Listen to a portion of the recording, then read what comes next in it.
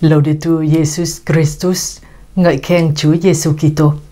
Chương trình Thế giới nhìn từ Vatican xin kính chào quý vị và anh chị em trong tình yêu thương của Chúa Kitô và mẹ Maria. Anh chị xin cảm ơn quý vị và anh chị em theo dõi chương trình này.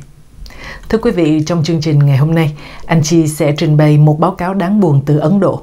Theo đó, chỉ trong vòng một tháng qua, đã có ít nhất 120 linh mục công giáo Ấn Độ đã chết vì virus tàu độc địa. Kính thưa quý vị và anh chị em, nhà triết học Hy Lạp cổ đại Aristotle từng nói yêu là vui, nhưng nhà thơ Louis Aragon, một nhà thơ lớn của Pháp sinh năm 1897 và qua đời năm 1982, đã trả lời ngược lại, yêu là chết trong lòng. Người Việt mình cũng nói yêu là khổ. Đức Tổng giám mục Pháp Michel Aupetit đặt câu hỏi nên tin ai, Aristotle hay là Aragon? Và sau đó Ngài nói với chúng ta về yếu tính của niềm vui. Thưa quý vị, tổn thất trong hàng giáo sĩ công giáo Ấn Độ trong một tháng qua vì coronavirus. Ít nhất 120 linh mục công giáo Ấn Độ đã chết vì COVID-19 trong tháng qua.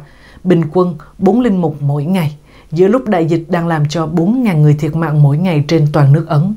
Cha Suresh Matthew, dòng Cappuccino, chủ nhiệm tạp chí công giáo Indian Currents, đã liệt kê danh tánh, giáo phận và dòng tu của 117 linh mục chết vì COVID-19 trong khoảng thời gian từ ngày 10 tháng 4 đến ngày 14 tháng 5 năm nay tại Ấn Độ. Cha nói với hãng tin công giáo UCAN hôm 15 tháng 5 rằng danh sách đó chưa đầy đủ, chắc chắn là số người chết cao hơn vì chúng tôi không có đầy đủ chi tiết về những linh mục tử vong trong đợt dịch thứ hai này.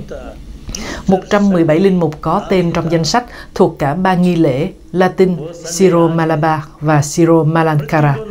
Trong số đó, 48 vị thuộc các dòng tu, đứng đầu là dòng tên với 19 linh mục. Con số linh mục tử vong sẽ tăng lên khi có thêm thông tin từ 174 giáo phận tại Ấn Độ. Cha Matthew cũng nhận xét rằng dẫu sao danh sách sơ khởi này cũng rất đáng báo động vì tuy đó chỉ là một số trong khoảng 30.000 linh mục tại Ấn nhưng nếu mỗi ngày có 4 linh mục chết đi thì đó là một điều rất đáng lo đối với chúng tôi. Đức cha Gerald Ameda, giám mục giáo phận Japanpur, bang Madhya Pradesh, cho biết nhiều linh mục chết vì không được săn sóc y tế kịp thời. Đó thật là một tình trạng kinh khủng. Tôi cảm thấy bị sốc khi biết có nhiều linh mục tử vong như thế, khi mà các linh mục và ơn gọi linh mục rất khan hiếm tại đất nước này.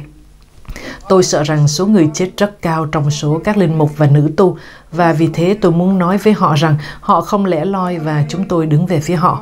Chúng tôi phải làm sao để sức khỏe tinh thần của các linh mục và nữ tu được bảo vệ và cố gắng vượt thắng tai ương này. Cha Almeida cho biết đã thành lập một trung tâm cách ly đặc biệt dành cho các linh mục và nữ tu để săn sóc họ và để kiến tạo sự tin tưởng nơi họ. Hiện nay có 26 nữ tu và 14 linh mục đang được săn sóc chữa trị tại trung tâm cách ly này. Một bác sĩ đến khám bệnh cho họ mỗi ngày. Từ giữa tháng 4 đến nay, ở Ấn Độ, mỗi ngày có hơn 300.000 ca nhiễm coronavirus. Các nhà thương thiếu giường, thiếu dưỡng khí và các thuốc sinh tử cho các bệnh nhân.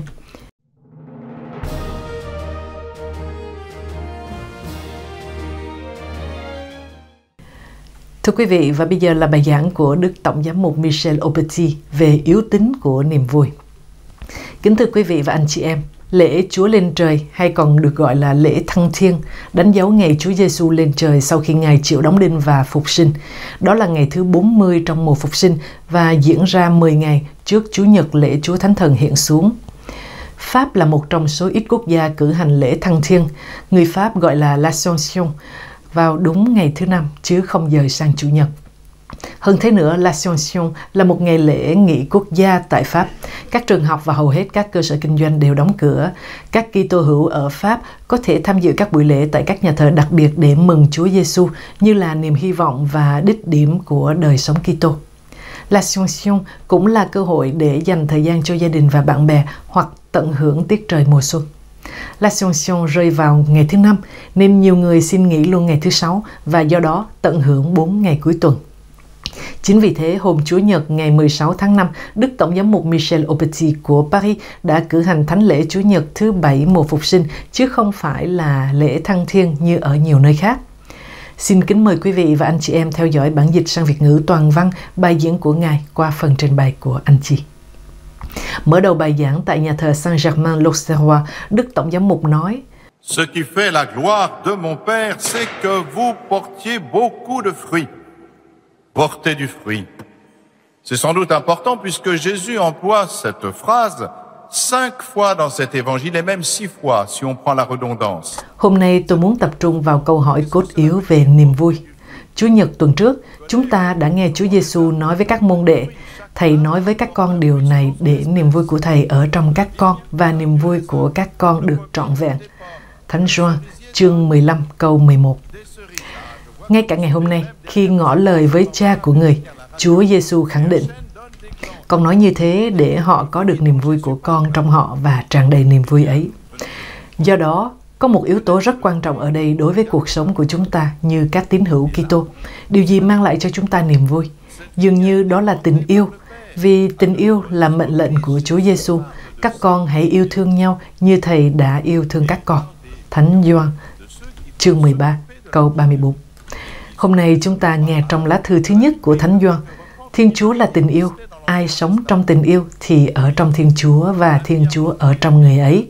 Tình yêu và niềm vui được liên kết sâu sắc trong Kitô giáo của chúng ta.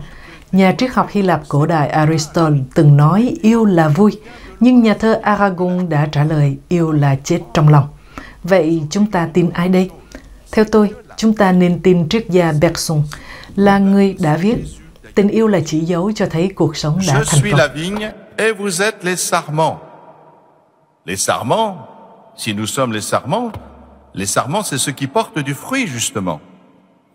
Le sarment reçoit la sève qui monte de la vigne, du cep et des racines. Dans cette parabole, la sève, c'est clair, c'est le Saint-Esprit. Si nous restons attachés au Christ, comme le sarment reste attaché au cep, dont il reçoit Chúa Giêsu đang nói về điều gì khi Ngài cầu nguyện với Cha về việc truyền đạt niềm vui của Ngài. Trước khi về cùng Chúa Cha, Chúa Giêsu nói: "Phần con, con đến cùng Cha." Điều mang lại niềm vui là đến với Chúa Cha, là nói tiếng xin vâng với Thiên Chúa. Trong nhân tính của mình, Chúa Giêsu hiến mình cho Cha Ngài vì tình yêu đối với thế gian. Đây là niềm vui của người. Vào lễ truyền tin, Đức Trinh Nữ nói xin vâng với Thiên Chúa và mẹ tôn vinh người trong kinh Magnificat của mẹ. Niềm vui thực sự không phụ thuộc vào các sự kiện bên ngoài như vượt qua các kỳ thi hoặc đạt được một thành tích. Chắc chắn điều này khiến chúng ta vui mừng trong một thời gian, nhưng chỉ trong một thời gian bởi vì nếu sau đó là những trắc trở trên đường đời thì niềm vui ấy sẽ biến mất. Niềm vui mà Chúa Giêsu đề cập đến là một ân sủng mà Thiên Chúa ban cho chúng ta để đáp lại việc chúng ta chấp nhận tình yêu của Ngài bằng sự phó thác cả cuộc đời chúng ta. Niềm vui này ăn sâu vào chúng ta đến mức ngay cả trong những thăng trầm lớn nhất, chúng ta vẫn giữ niềm vui này sâu xa trong mình. Autrement dit, la Fils, le Fils, Jésus, c'est l'amour incarné. Nous connaissons l'amour du Père parce qu'il nous est rendu visible dans les paroles, les actes et les pensées du Seigneur Jésus-Christ. L'Esprit Saint, nous le savons, le Christ nous l'a révélé, c'est l'amour du Père et du Fils, et qui se communique à chacun d'entre nous si nous restons greffés sur le Christ. L'Esprit Saint procède du Père comme source et Cá nhân tôi, tôi nhớ mình đã nhận được ân sủng ấy khi tôi khuỵu gối xuống trong phòng ăn của mình sau một thời gian dài đấu tranh chống lại lời kêu gọi của Chúa. Ngày hôm đó, tôi đã nói với tất cả bản thể của mình rằng, ý muốn của Chúa sẽ được thực hiện khi biết rằng cuộc sống của tôi không còn là của tôi nữa. Thật không thể hiểu nổi đối với tôi. Trước đó, sự từ bỏ chính mình này khiến tôi cảm thấy đau đớn như mất đi tất cả. Nhưng khi nó xảy đến, tôi đã tràn ngập niềm vui siêu nhiên, một niềm vui chưa bao giờ rời bỏ tôi kể từ đó. Đó là niềm vui của những ai bước vào một tình yêu vượt quá cảm xúc của con người vì nó tương ứng với một hành động của ý chí đáp ứng điều răng lớn của tình yêu. Niềm vui này mang tính giao tiếp, nó được tăng lên nhờ sự chia sẻ. Đó là lý do tại sao anh chị em không thể giữ nó cho riêng mình. Niềm vui này đến từ Chúa và dành cho tất cả mọi người. Đây là cách mà động lực truyền giáo được sinh ra. Tình yêu chỉ tồn tại để trao ban chính mình vì không có tình yêu nào cao cả hơn là hiến mạng sống cho người mình yêu. Cũng thế, niềm vui sinh ra từ tình yêu là điều không thể cưỡng lại được, còn hơn cả Covid nữa. Và đó là một cơ hội phi thường cho chúng ta vì không có vaccine nào chống lại nỗi niềm vui Kitô.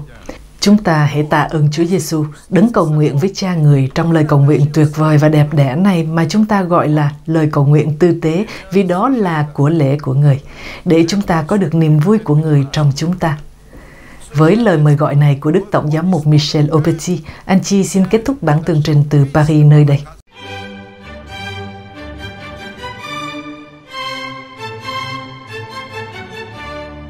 Chương trình của chúng tôi đến đây là hết. Xin quý vị và anh chị em giúp phổ biến rộng rãi chương trình này đến với gia đình, thân quyến và bạn bè xa gần như một cách thức để truyền giáo. Xin cảm ơn và hẹn gặp lại quý vị và anh chị em trong lần phát hình tới. Laudetur Jesus Christus. Ngợi khen Chúa Giêsu Kitô.